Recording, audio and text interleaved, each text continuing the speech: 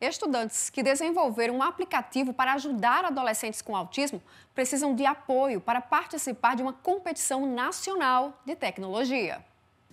Seis jovens e um só objetivo: tornar a vida de crianças e adolescentes com autismo melhor. Aqui na escola, a gente tem alguns adolescentes que sofrem do espectro autista e eles têm muita dificuldade, principalmente em comunicação com os outros alunos. Alguns deles até não falam e etc. E daí a gente pensou que a gente poderia fazer algo para ajudar esses alunos, entendeu?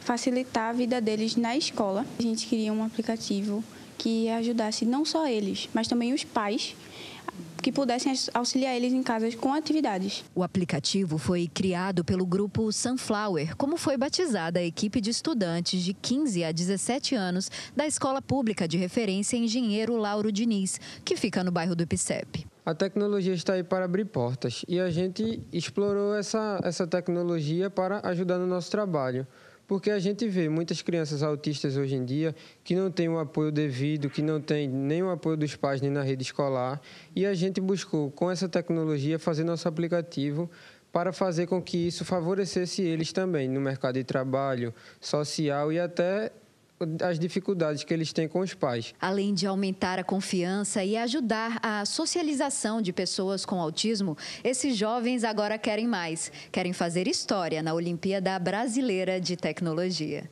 Mas para conseguirem participar da competição, que acontece em julho na cidade de São José dos Campos, em São Paulo, eles precisam de ajuda. As passagens aéreas já estão garantidas, mas para custear todo o resto, eles decidiram fazer uma vaquinha. A gente está aceitando qualquer valor, qualquer ajuda é bem, muito bem-vinda. Tipo, seja de um real. A gente acredita que de um real, um real a gente consegue lá. Se todo mundo se unir, a gente vai lá e consegue.